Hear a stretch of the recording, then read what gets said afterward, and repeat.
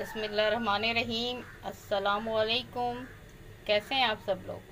उम्मीद है आप सब लोग खैरियत से होंगे।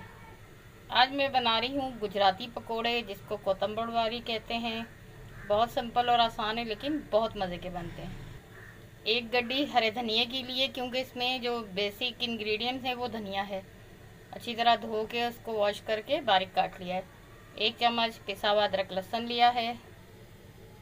एक चम्मच पिसी हुई लाल मिर्च है आधा चम्मच सूखा धनिया है क्वार्टर टी स्पून हल्दी है क्वार्टर टी स्पून गर्म मसाला है, नमक खसबे जायका है, ये हरी मिर्च पिसी हुई है, इसका एक चम्मच भी शामिल करते हैं।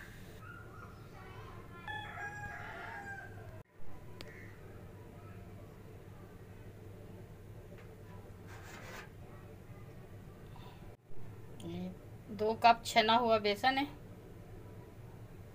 ये मिक्स करेंगे। पहले इसको हाथों से अच्छी तरह मिक्स कर लेते हैं। फिर इसके बाद हल्का सा पानी लगा के इसको गूंदेंगे।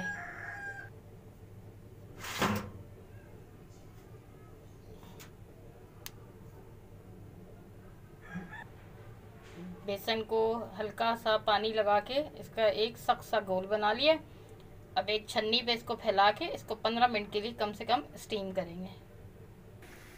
ये एक पतीले में पानी गर्म होने रखा है, उस पर छन्नी रख दी है। और छन्नी के ऊपर ये बेसन का घोल रख के पंद्रह मिनट के लिए इसको ढक के स्टीम करेंगे।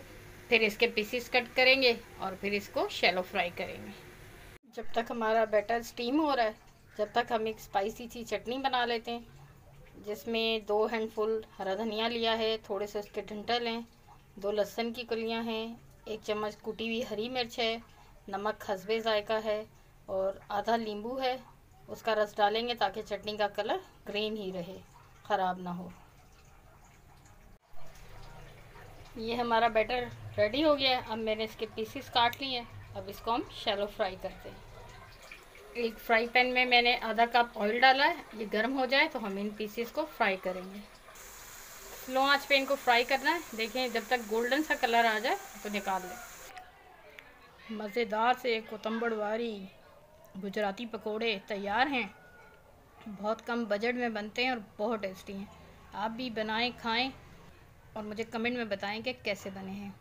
इन ताला फिर मिलेंगे नई रेसिपी के साथ एक नई वीडियो में। जब तक के लिए इजाज़त दें। अल्लाह हाफिज़।